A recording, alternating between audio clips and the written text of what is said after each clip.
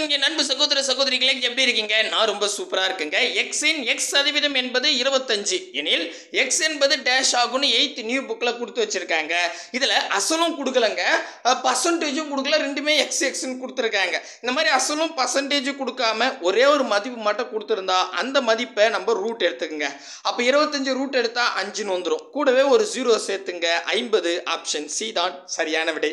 இதே மாதிரி கொஷின் படித்த அடுத்த செகண்டே வரக்கூடிய எக்ஸாமில் மின்னல் வேகத்தில் போடணும் அப்படின்னு ஆசைப்பட்டீங்கன்னா இந்த வீடியோவை கொஞ்சம் கூட ஸ்கிப் பண்ணாமல் ஃபுல் வீடியோ பாருங்கள் நம்ம லெவல் ஒன்ல கிளாஸ் இருபத்தொன்று தாங்க இன்னைக்கு பார்க்க போகிறோம் சதவீதத்தில் எயித்து புக்லேயும் நைன்த் சாரி செவன்த் புக்லேயும் இருக்கிற சம்ஸ் தான் நான் எடுத்துகிட்டு வந்திருக்கேன். ஆல்ரெடி வந்து பார்த்தீங்கன்னா நம்ம ஒரு மூணு கிளாஸ் வந்து சதவீதம் நடத்தி முடிச்சாச்சு. கரெக்ட்டுங்களா செவன்த் புக்கில் ரெண்டு கிளாஸும் எயித்து புக்கில் ஒரு கிளாஸும் எல்லாமே ஒரே ஃபார்மேட் கரெக்ட் தானே?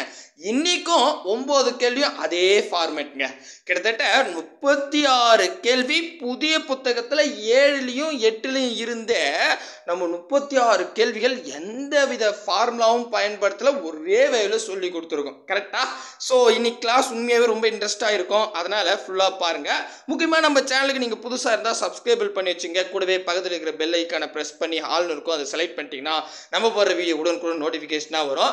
இந்த வீடியோ பிடிச்சிருந்தா லைக் பண்ணுங்கள் உங்கள் ஃப்ரெண்ட்ஸுக்கு ஷேர் பண்ணுங்கள் பிடிக்கலனா ஒன்றும் பிரச்சனை இல்லை சாமி. டிஸ்லைக் பண்ணிடலாம். இன்னைக்கான கிளாஸுக்கான ஆன்லைன் டெஸ்ட் கீழே டிஸ்கிரிப்ஷனில் ஆன்லைன் டெஸ்ட்னே கொடுத்துருப்பேன். மறக்காம டெஸ்ட் எழுதி பாருங்க. அப்போதான் கொஷின் அண்டர்ஸ்டாண்ட் ஆகும்.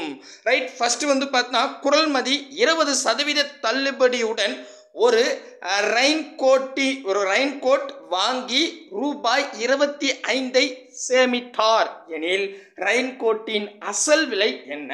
அப்படின்னு செவன்த்து நியூ புக்கில் கொடுத்து வச்சுருக்காங்க. இந்த குரல்மதி பாப்பா வந்து வெயில் காலம் அது அப்போ வந்து குளிர்காலம் போல இருக்குது. அதனால ஒரு ரெயின் கோட் வாங்கலான்னு போய் ரெயின் கோட் வாங்குறாங்க.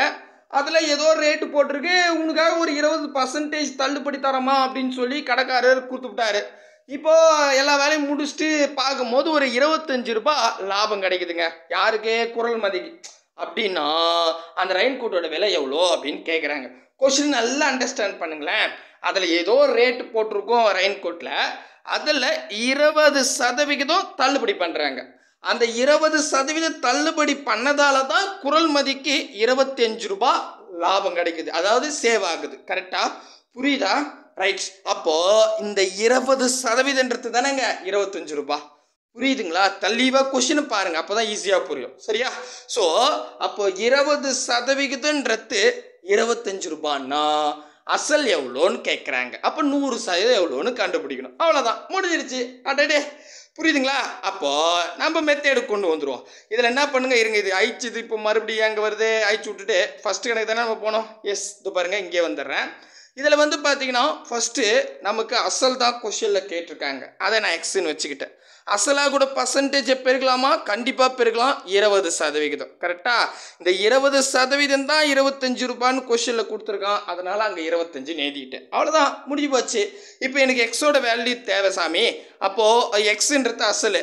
பெருக்கில் இருக்கிற இருபது ஈக்குவல்ட்டுக்கு என்ன நடக்குமோனா? வகுத்தலாக மாறிடும். அசலோ பர்சன்டேஜோ கீழே வந்துட்டா மேலே நூறை பெருக்கணும். அவ்வளோதான் முடிஞ்சு போச்சு. அடிச்சு கொடுங்க. ஆன்சரு ஜீரோக்கு ஜீரோ கேன்சல் இதில் பாதி ஒன்று இதில் பாதி அஞ்சு. சரிங்களா? ஐ இருபத்தஞ்சி எவ்வளோ? நாலு இருபத்தஞ்சி நூறு.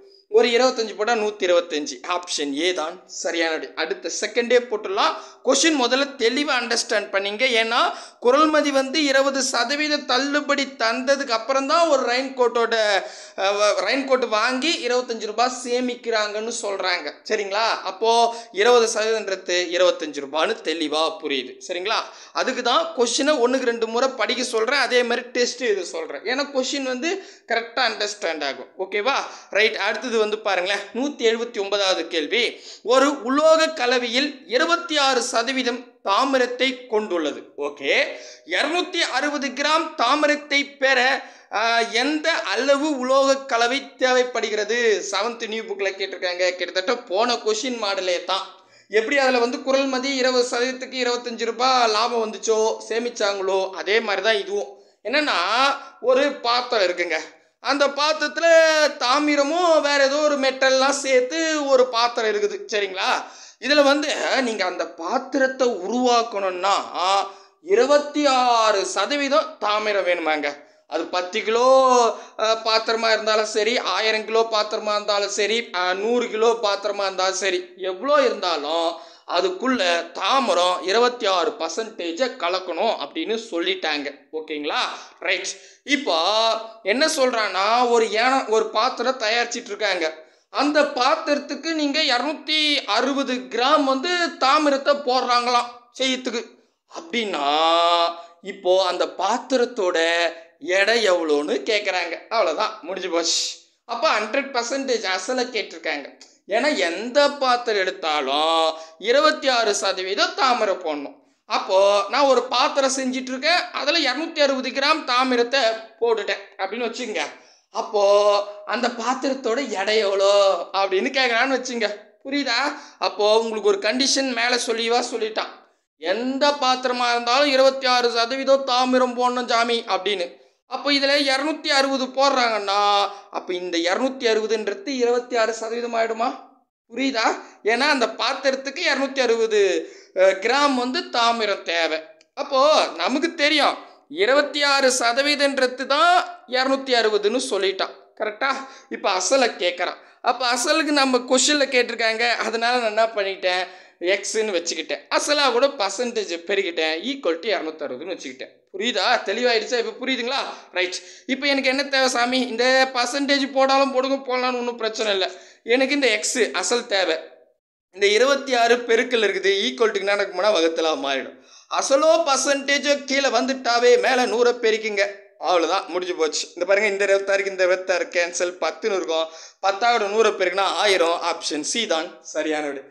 அட கடவுளே என்னப்பா அது ஒரே ஸ்டெப்பு தான். கொஷின் புரியலனா கேளுங்க. அந்த கொஷினை நான் தனியாகவே சொல்லி கொடுத்துட்றேன் கண்டிப்பாக புரியும் அப்படின்ற நம்பிக்கையோட அடுத்த கணக்கு பார்ப்போம்.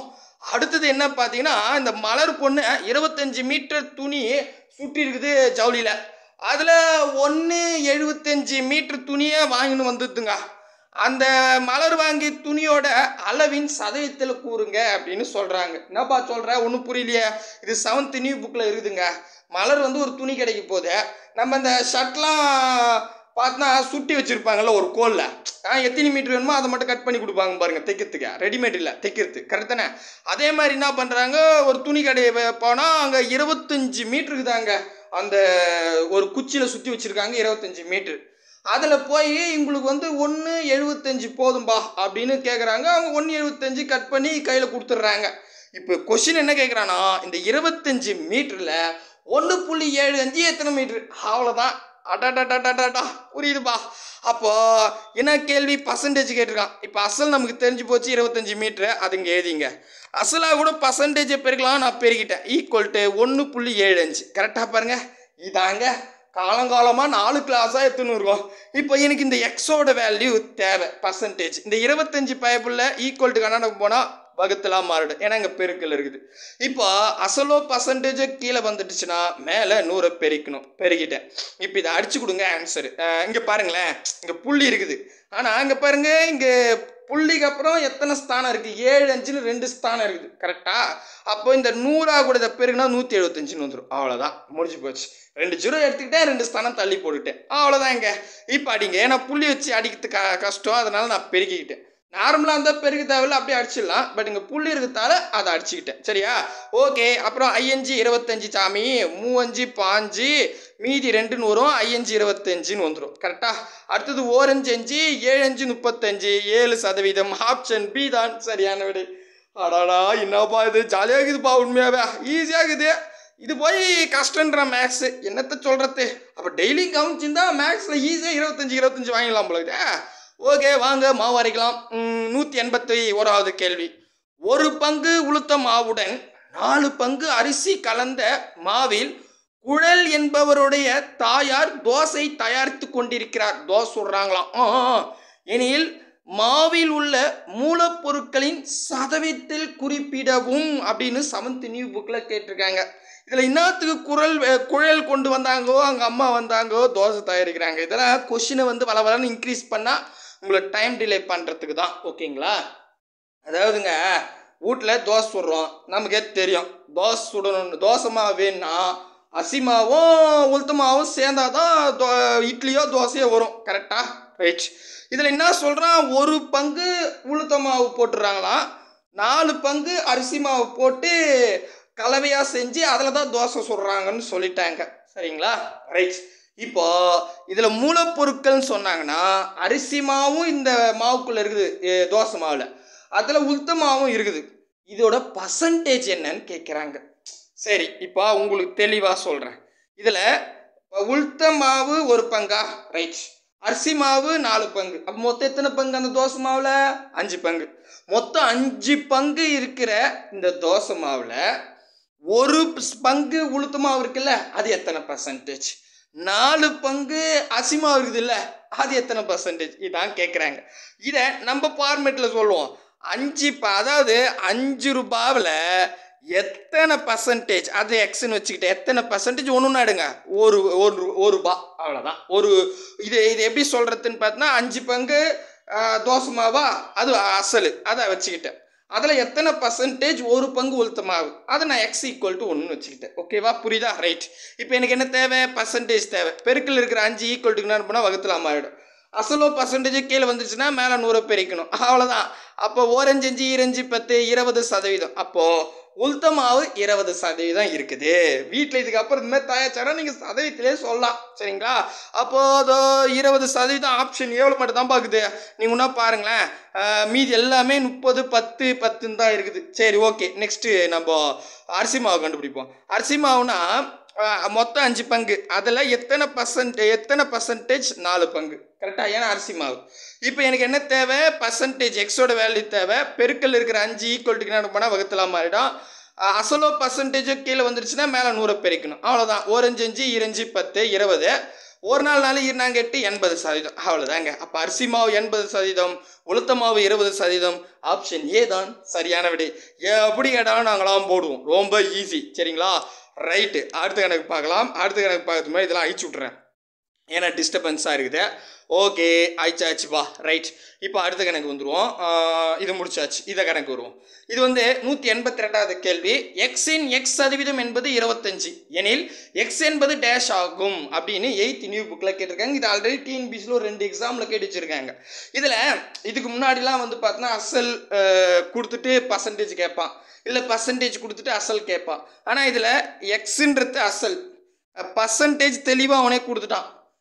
இதோட மதிப்பு இருபத்தஞ்சுன்னு கொடுத்துட்டான். நம்ம அசலாக கூட பர்சன்டேஜ் பெருகும் பெருகி இந்த மதிப்பு வச்சுப்போம். இப்போ ஏதாவது ஒன்று கேட்பாங்க ஒன்று ஈக்குவல்ட்டுக்கு என்ன பக்கம் எடுத்துகிட்டு போயிட்டு வகுத்துட்டு மேலே நூறை பெருகிட்டு போட்டு போயிட்டே இருப்பேன். ஆனால் இங்கே ரெண்டுமே கொஸ்டினாக கேட்டிருக்கான். இப்போ என்ன சார் பண்ணலாம்? அந்த மாதிரி இந்த மாதிரி ரெண்டு கேட்டாங்கன்னா இதை ஜஸ்ட் இதுக்கு ரூட் எடுத்துங்க. ஓகேவா ரெண்டு கேட்டிருந்தா தான் தெளிவாக புரிஞ்சுக்கணும் குறிப்பு கூட எழுதி வச்சுங்க. அப்போ இருபத்தஞ்சுக்கு ரூட் எடுங்க. இருபத்தஞ்சுக்கு ரூட் எடுத்தால் அஞ்சு நூறு. ஒரு ஜீரோவை சேர்த்துங்க. ஐம்பது ஆப்ஷன் சி தான் சரியான விடை அவ்வளோதாங்க ரொம்ப எளிமையான கேள்வி. சரிங்களா? புரியும்னு நினைக்கிறேன். கரெக்டா ரைட் அடுத்த கேள்வி. நூற்றி நூற்றி எண்பத்தி மூணாவது கேள்வி. இந்த மாடல் நேற்று கிளாஸில் நம்ம பார்த்தோம்னா எயித்து புக்கில் இருந்து இதில் செவன்த் புக்லேயும் கேட்டிருக்காங்க. இருபது சதவீதம் உயர்த்திய பின்பு ஒரு கிலோ உளுத்தம் பெருப்போட விலை தொண்ணூத்தாறு ரூபாய் எனில் ஒரு கிலோ உளுத்தம் பெருப்பின் அசல் விலையை காண்க. செவன்த் இனி புக்கில் கேட்டிருக்காங்க. இப்போ இந்த மாதிரி விலை உயர்த்திய குறைத்தெல்லாம் சொன்னேன்னா நான் நூறில் கூட்டிக்க சொன்னேன் கழிச்சிக்க சொன்னேன். நான் தான் நேற்று கிளாஸ் பார்க்காதவங்க பார்த்துருங்க. புதுசாக பார்க்குறவங்க ரெகுலராக பார்த்துட்டு வாங்க. இப்போ தான் சார் நான் புதுசாக பார்க்குறேன்னா இந்த சதவிகிதம் வந்து மூ- இது நாலாவது கிளாஸ் செவன்த் புக்கில் சரிங்களா? அப்போ அந்த மூணு கிளாஸ் பார்த்துட்டு வந்தால் தான் புரியும். நடுவுலலாம் பார்த்தா புரியாது. ஓகேங்களா நீங்கள் சிக்ஸ்த்து பார்க்கலனா கூட அப்புறமா பார்த்துங்க. ஆனால் செவன்த் எடுக்கிறீங்கன்னா சாயத்துலேருந்து வாங்க. சரியா? ரைட் இப்போ ஒன்றும் இல்லைங்க. வீட்டில் உளுத்த மாவு வேணும்னு சொல்கிறாங்க நீங்கள் போய் கடையில் கேட்குறீங்க கடையில் கேட்டோம்னே தொண்ணூத்தாறு ரூபாப்பா அப்படின்னு சொல்கிறாங்க என்னப்பா போன வாரம் வாங்கி போனேன் இவ்வளோ தான் கொடுத்த இப்படின்னா தொண்ணூத்தாறு ரூபான்னு சொல்கிற அப்படின்னு கேட்டால் என்னங்க விலைவாசி ஏறிக்கிட்டே இருக்குது. பெட்ரோலில் டெய்லி ஏறுது. இது ஏறக்கூடாதா? அப்படின்னு கேட்குறாப்புல சரி தொண்ணூத்தாறு ரூபாய் கொடுத்து வாங்கிட்டு வந்துட்டாங்க. வீட்டுக்கு போயிட்டு கணக்கு சொல்கிறாரு எவ்வளோ பர்சன்டேஜ் இன்க்ரீஸ் ஆகிருக்கும் அப்படின்னு. சரிங்களா? ஏன்னா போன வாரம் வாங்கினது ரேட்டை விட இந்த வாரம் இருபது சதவீதம் இன்க்ரீஸ் ஆகிடுச்சின்னு சொல்கிறாங்க அப்போ போன வாரம் எவ்வளோ ரூபாய்க்கு வாங்கியிருப்பாங்க? அதான் அசல் கேட்குறாங்க சரிங்களா?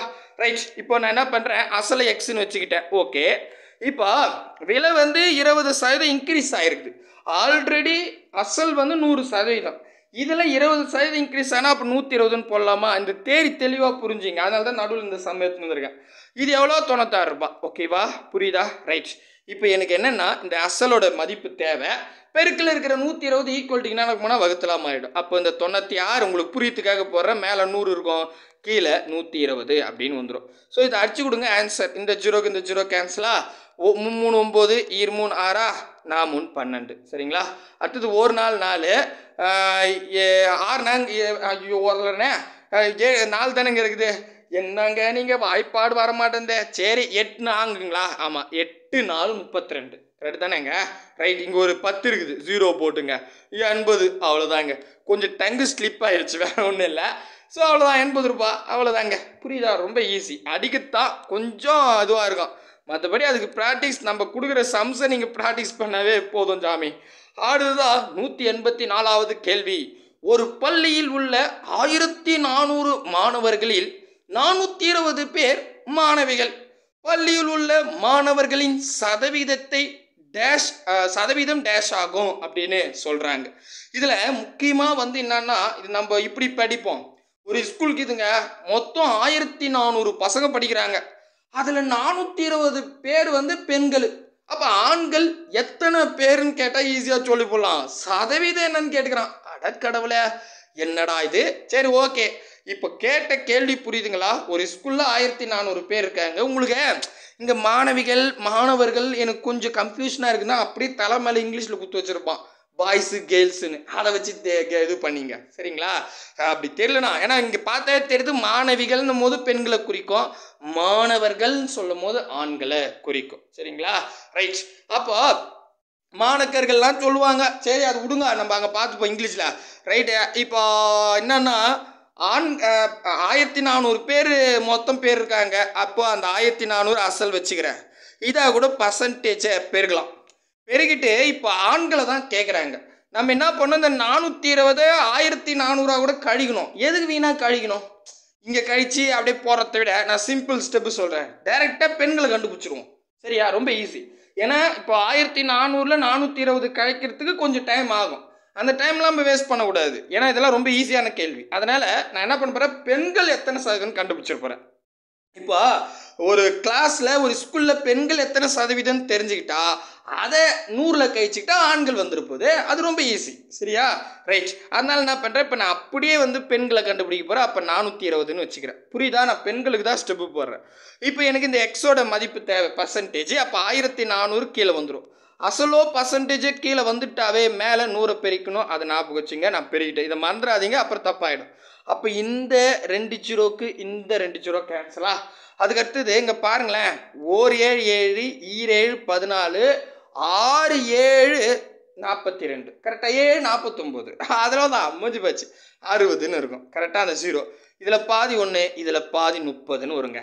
அப்போ பெண்கள் முப்பது சதவீதம். அப்போ ஆண்கள் நூறில் முப்பது கழிங்க எழுபது. அவ்வளோதான் முடிஞ்சு போச்சு. எதுக்கு ஆயிரத்தி நானூறில் ஆயிரத்தி நானூறில் நானூற்றி இருபதுல கழிச்சா கொஞ்சம் டைம் ஆகும். ஆனால் இதை கண்டுபிடிச்சிட்டு நூறில் கழிக்கிறது டோ- டக்குன்னு போட்டுடலாம். டைம் வந்து ரெண்டு செகண்ட் மிச்சமானாலும் அதான் மிச்சம். அதான் நீங்கள் வெற்றியோட பாயிண்ட்டு புரியுதா? அப்போ நான் என்ன பண்ணுறேன் சிம்பிளாக போட்டேன். ஏன்னா அவங்க வந்து ஆண்களை கேட்டிருக்காங்க. இதே இதில் பெண்கள் கேட்டாங்கன்னா முப்பது சதவீதம் தான். கரெக்ட் ஆப்ஷனே தான். சரியா? அதை கொஞ்சம் தெளிவாக பார்த்துக்கிட்டு போடுங்க. அதை தான் நான் சொல்லுவேன் புரியுதுங்களா? ரைட்டு அடுத்த கேள்வி பார்க்கலாம். அடுத்த கேள்வி இதே மாடலே எடுத்துன்னு வந்துக்கிறேன் பாருங்களேன். நூற்றி எண்பத்தஞ்சாவது கேள்வி வரும். இதை பாருங்கள் இதில் என்ன சொல்கிறாங்க அப்படின்னு கேட்டால் ஒரு அரசு உயர்நிலை பள்ளியில் சேர்ந்த எழுபத்தி ஐந்து மாணவர்கள் பத்தாம் வகுப்பு தேர்வில் பங்கு பெற்றனர். அவர்களில் எழுபத்தி ரெண்டு பேர் தேர்வில் தேர்ச்சி பெற்றதாக அறிவிக்கப்பட்டுள்ளது. எனில் தேர்வில் தேர்ச்சி பெற்ற சாரி தேர்ச்சி பெற்ற மாணவர்களுடைய சதவீதத்தை காண்க அப்படின்னு சொல்கிறாங்க இது நார்மலாக தான் கொடுத்துருக்காங்க. ஆனால் நமக்கு என் எது ஈஸியாக போட முடியுமோ அந்த மாதிரி நான் சேஞ்ச் பண்ணுறன்றது தான் இந்த வீடியோவில் சொல்கிறேன் சரிங்களா இந்த கணக்கில். அதாவது ஒரு ஸ்கூல் இருக்குதுங்க. அந்த ஸ்கூலில் டென்த்து ஸ்டாண்டர்டில் எழுபத்தஞ்சி மாணவர்கள் படிக்கிறாங்க. அவங்களுக்கு தான் இப்போ மூவாண்டு ஆண்டு பரீட்சை நடக்குது. நடந்து முடிச்சோம்னே எழுபத்தஞ்சி பேர் எழுதின எக்ஸாமில் எழுபத்தி ரெண்டு பேர் பாஸ் ஆகிட்டாங்கப்பா சூப்பரு. அப்போ எத்தனை பேர் ஃபைலு மூணு பேர் தான் ஃபைலு கரெக்டா ரைட் இப்போ என்ன கேள்வி கேட்குறேன்னா டைரெக்டாக தேர்ச்சி பெற்றவங்க எத்தனை சதவீதம் தான் கேட்டிருக்காங்க. இதில் தேர்ச்சி பெறாதவங்க எத்தனை சதவீதமும் கேட்பான். கொஷின் எப்படி வேணாலும் கேட்பான். அதை நீங்கள் தெளிவாக பார்த்து பறித்து போடுங்க. இப்போ இதில் வந்து டைரெக்டாக பாஸ் பண்ணவங்க எத்தனை பேர் தான் கேட்டிருக்காங்க. ஆனால் இந்த எழுபத்தி ரெண்டை அடிக்க சிரமமாக இருக்கும். எப்படின்னா நாங்கள் பாருங்களேன் ஒரு ஸ்டெப்பு போட்டு காமிக்கிறேன்.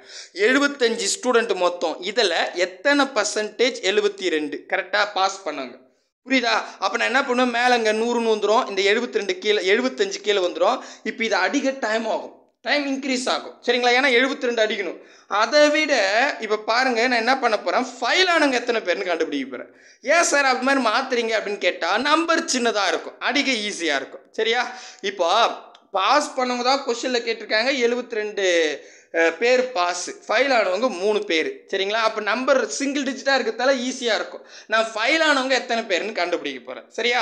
அப்போது டோட்டலாக எழுபத்தஞ்சு பேர். அதில் பர்சன்டேஜை பெருக்கலாம். கொஷினில் பர்சன்டேஜ் கேட்டிருக்காங்க. எக்ஸ்ன்னு போட்டுக்கிட்டேன். அப்புறம் மூணு பேர் ஃபைல் ஆனவங்க எத்தனை பர்சன்டேஜ்னு கண்டுபிடிக்க போகிறேன் அப்போ எனக்கு இந்த பர்சன்டேஜ் தேவை. அப்போ எழுபத்தஞ்சு ஈக்குவல்ட்டுக்கு என்ன போனால் வகுத்தலாக மாறிடும். ஸோ அசலோ பர்சன்டேஜும் கீழே வந்துருச்சுன்னா மேலே நூறு பெருக்கணும். சரிங்களா? இங்கே பாருங்கள் ஓர் மூணு மூணு. ஈர் மூணு ஆறு. மீதி அங்கே வரும்? ஒன்று வரும். சரிங்களா? ஐ மூணு பாஞ்சு. கரெக்டாக அடுத்தது இங்கே பாருங்கள் ஓர் இருபத்தஞ்சி இருபத்தஞ்சி நாலு இருபத்தஞ்சி நூறு. கரெக்டாக இருபத்தஞ்சி இருபத்தஞ்சி ஐம்பது ஐம்பது ஐம்பது நூறு. சரிங்களா? அப்போ நாலு பர்சன்டேஜ் ஃபைல் ஆகிட்டாங்க இப்போ நூறில் நாலு போச்சுன்னா எழுப தொண்ணூற்றி ஆறு அவ்வளோதான் சரிங்களா? ஏன்னா அதிக ஈஸியாக இருக்கும். இதே இங்கே எழுபத்தி ரெண்டுன்னு போட்டு போட்டிங்கன்னா டைம் இன்க்ரீஸ் ஆகிக்கும் ஸோ இந்த மாதிரி கேள்விலாம் எந்த மாதிரி பயன்படுத்தி டைமை சேவ் பண்ண முடியும்னு பாருங்கள் பார்த்து அடுத்த செகண்டே போடுறதுக்கு. சரியா? தெளிவாக புரியுதா? சார் நான் நார்மலாகவே போடணும் போடுங்க. தப்பே கிடையாது. எழுபத்தி ரெண்டு வச்சு கூட போடுங்க. உங்களுக்கு அடிக்கிறதுக்கு ஸ்பீடாக இருந்தா. சரியா? புரியுதா? ரைட் அடுத்தது பாருங்கள் நூற்றி எண்பத்தி ஆறாவது கேள்வி. ஒரு கடற்கா ஒரு கடைக்காரர் நாற்காலியை முந்நூற்றி இருபத்தஞ்சு ரூபாய்க்கு வாங்கி முந்நூற்றம்பது ரூபாய்க்கு விற்பனை செய்கிறார். எனில் லாப சதவீதத்தை காண்க அப்படின்னு சொல்லியிருக்காங்க. ஸோ இதில் என்ன சொல்கிறாங்க அப்படின்னு கேட்டால் ஒரு கடைக்காரர் வந்து பார்த்தீங்கன்னா முந்நூற்றி இருபத்தஞ்சி ரூபாய்க்கு ஒரு சேர் வாங்கின்னு வராரு. அதை முந்நூற்றி ஐம்பது ரூபாய்க்கு விற்று போடுறாரு. அப்போ எவ்வளோ லாபம் வருது? முந்நூற்றி இருபத்தஞ்சி ரூபாய்க்கு வாங்குறாரு. அதான் அசல். முந்நூற்றி ஐம்பது ரூபாய்க்கு விற்கிறாரு. அது விற்பனை விலை. அப்போ இருபத்தஞ்சு ரூபாய் லாபம் கிடைக்குது. கரெக்டாக புரியுதா? அப்போ அந்த இருபத்தஞ்சி அப்படின்றது லாப் அந்த இருபத்தஞ்சு ரூபான்றது லாபம். அதை சதவீதத்தில் கேட்குறாங்க அவ்வளோதாங்க புரியுதா? ரைட் அப்போ இது எப்படி சொல்லலாம்? முந்நூற்றி இருபத்தஞ்சு ரூபாயில் இருபத்தஞ்சு ரூபான்றது எத்தனை சதவீதம்? அவ்வளோதான் அப்போ அசல் முந்நூற்றி இருபத்தஞ்சி எழுதிக்கிட்டேன். ஓகே. இதை கூட பர்சன்டேஜை பிரிக்க போகிறேன் ஓகே.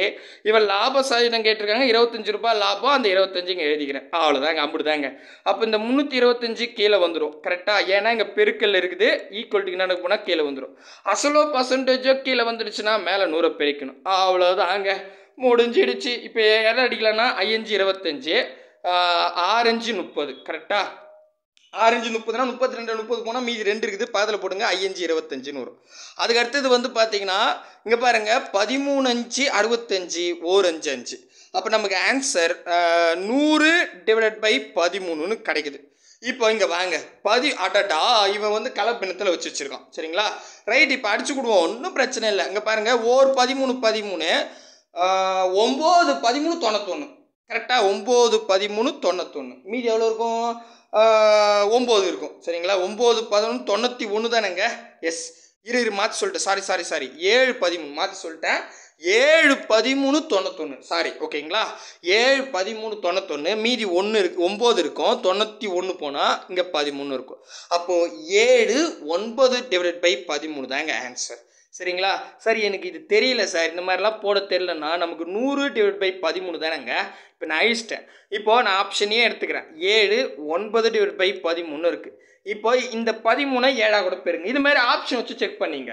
பதிமூணு ஏழாவில் பெருக்குன்னா தொண்ணூற்றி ஒன்றுன்னு வரும் தொண்ணூற்றி ஒன்றாவோட ஒம்பது கூட்டினா நூறுன்னு வரும் அப்போ நூறு டிவைட் பை பதிமூணு வந்துருச்சா? இதுதான் ஆன்சர் ஓகேங்களா? இந்த மாதிரி கலப்பினம் மாற்ற தெரியலனா ஆப்ஷன் வச்சு செக் பண்ணி பார்த்துங்க ஸோ முதல் முறையாக இருபத் முப்பத்தி ஆறு சாரி முப்பத்தி ஆறு கேள்விகள் ஒரே ஃபார்மேட்டில் கொண்டு வந்திருக்கேன். இன்னமும் தேடிட்டு இருக்கேன். ஏதாவது இன்னும் ஒரு நாலு கேள்வி தட்டி விட்டா கூட ஒரு நாற்பது கேள்வி ஒரே ஃபார்மேட்டாக இருக்கும். அதுவும் புது புக்கில் இருந்து. சரிங்களா? ஸோ ஏன்னா நமக்கு வந்து ஒரு பாதிக்கு மேலே கொஷின்ஸ் வந்து ஒரே ஃபார்மேட்டில் கொண்டு வந்துட்டுன்னு வச்சுங்களேன். மீதிக்கிற கொஷின்ஸ் வந்து எளிமையாக இருக்கும். கரெக்டாக சரி பார்ப்போம். மற்றதை எப்படி இருக்குதுன்னு அடுத்த வீடியோவில் சந்திக்கலாம். பாய் பிரதர் அண்ட் சிஸ்டர்